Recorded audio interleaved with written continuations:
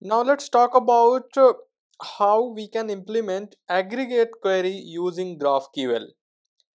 So aggregate queries are like where we wanted to get the sum of a specific field, minimum or maximum or average for any specific field in the object. So let's quickly first write the aggregate query in developer console. Then we are going to replicate the same query into the GraphQL. Log into your Salesforce org and then we have to write.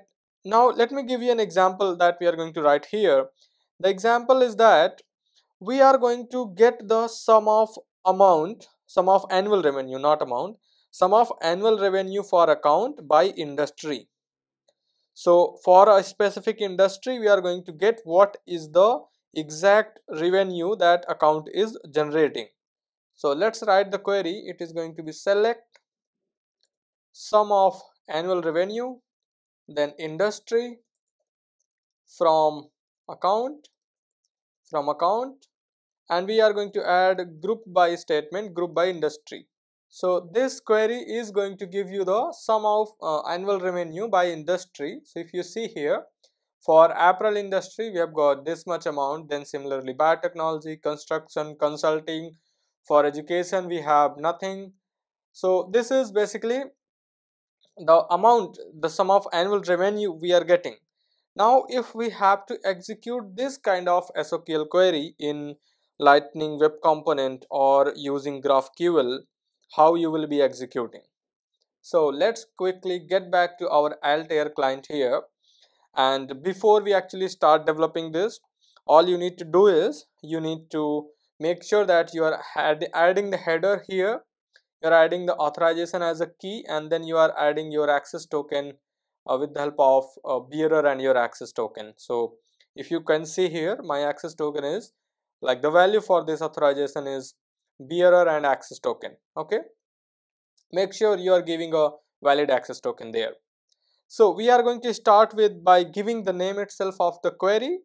So let's say query we are going to give the name. So let's say that get annual revenue annual revenue the name of our query.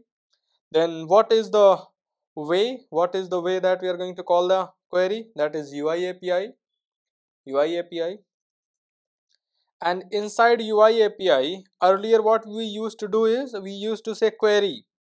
Whenever we wanted to execute a normal query we will say query.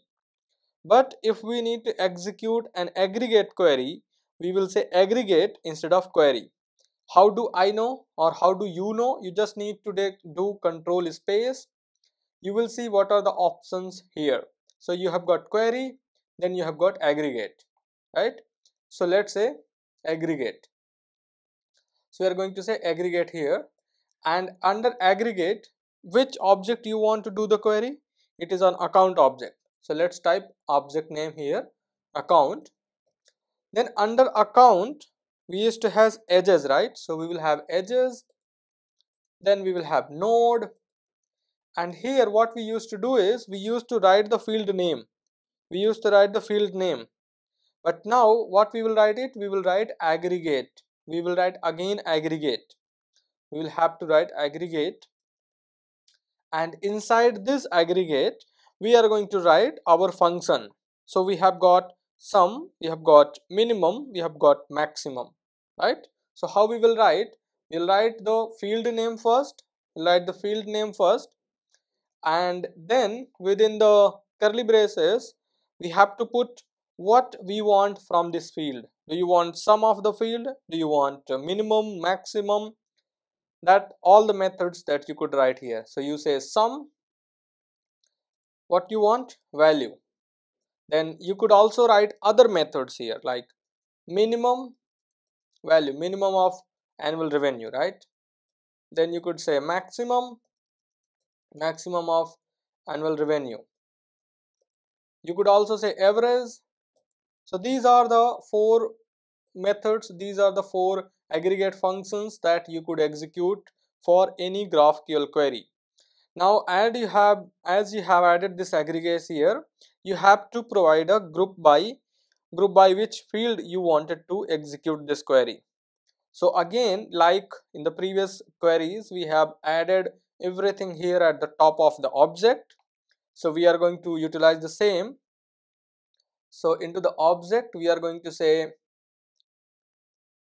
opening and closing parenthesis and this time you will see one more option here called group by. You will see one more option here called group by. So say group by like other filters other values it takes objects as well. It also takes object. Then the field name which you wanted to group by in our case it is industry. Then again it is going to take an object as a value. So let's say colon object. And here the key is going to be group. The key is going to be group. And value is going to be always true. So what we are saying is that group by this industry field. And then if we go ahead and hit send request button we will see the result is coming up by industry. We will see the result is coming up by industry right?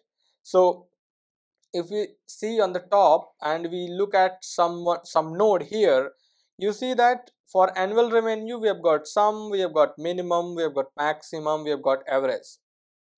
But in our result in our result we are also getting the industry. But uh, the GraphQL doesn't displays doesn't give us the graph GraphQL as a result industry in the result right? So for that we have not even mentioned which field we want to query which field is the group by right?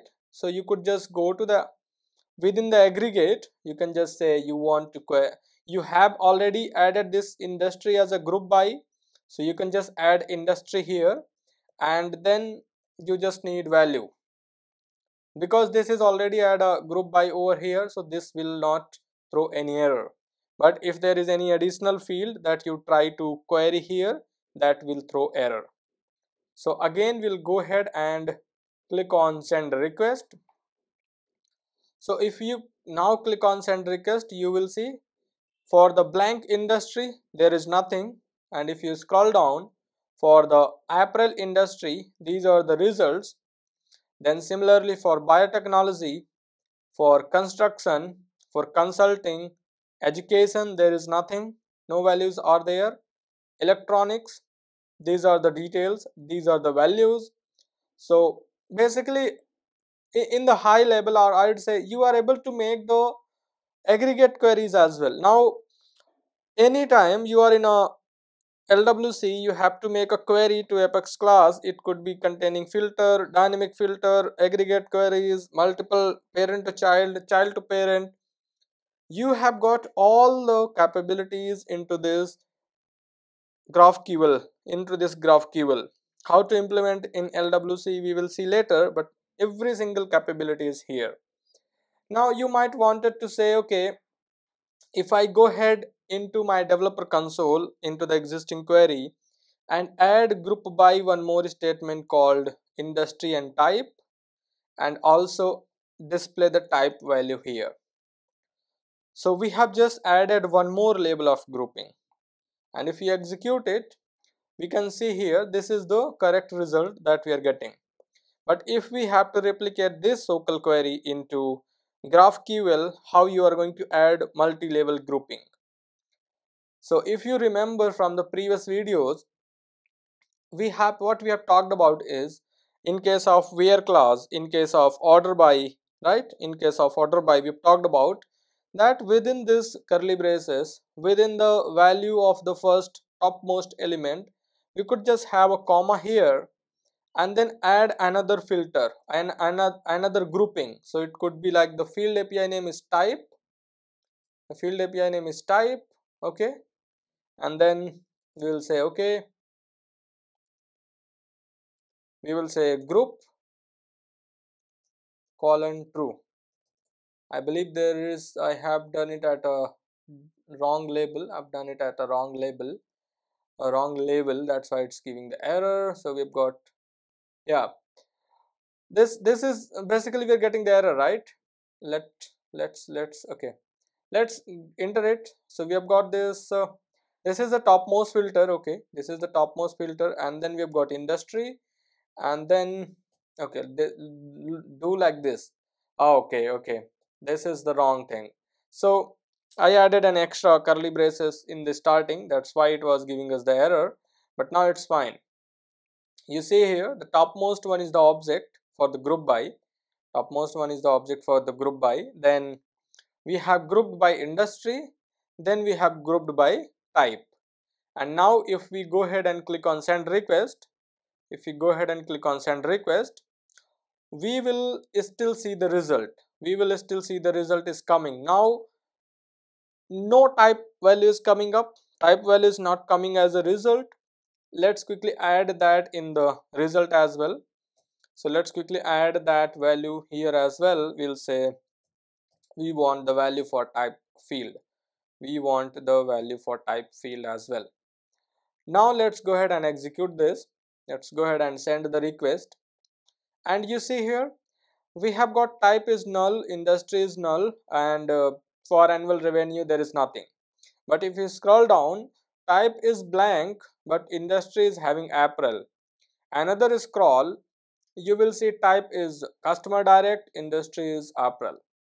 So all this thing all these thing like the combination that you can see in the developer console the combination that you can see in developer console the same combination you will see into the GraphQL for aggregate queries as well. You could always add, you could always have a filter here into your aggregate queries. Like uh, you could uh, add other things like you have got first, you could say, okay, you want only 10 records. Do you want to have order by? You could always have the order by as well. Maybe let's say you're saying annual revenue. Okay so you could always have that kind of thing you could always have this kind of uh, the other filters you could have in the aggregate queries as well so that is how your aggregate query works in the GraphQL. The filter things we have already talked about.